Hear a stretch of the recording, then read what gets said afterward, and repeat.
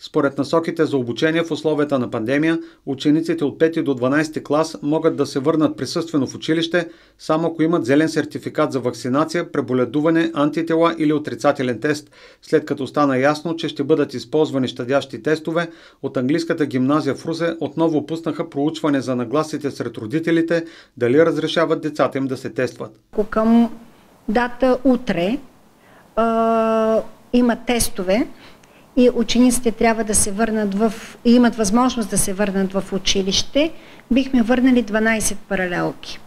В останалите 8 паралелки, това са всички 12 клас, 2 9 клас, една 10 и една 11 а, няма 50% от учениците, които да са изразили съгласие да бъдат а, тествани, така че в този случай бихме останали в обучение в ОРЕС, освен ако броят а, на заболели в община Русе не падне под 500 и тогава вече минаваме в другия режим, а, 50% присъствено, 50% в ОРЕС.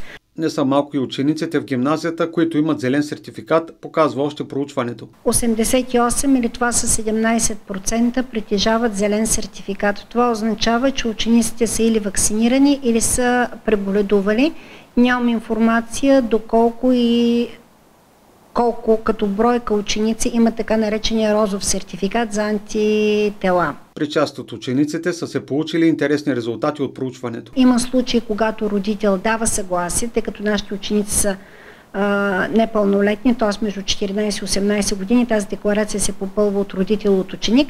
Родителят дава съгласие, ученикът не дава съгласие, което на нас а, така ни навежда на мисълта, кара ни да спекулираме, че това не е свързано толкова с тестовите, колкото с удобството при някои ученици а, да продължат обучението си от разстояние, т.е. от къщи. 23% от 12-класниците в английската гимназия са вакцинирани срещу COVID-19.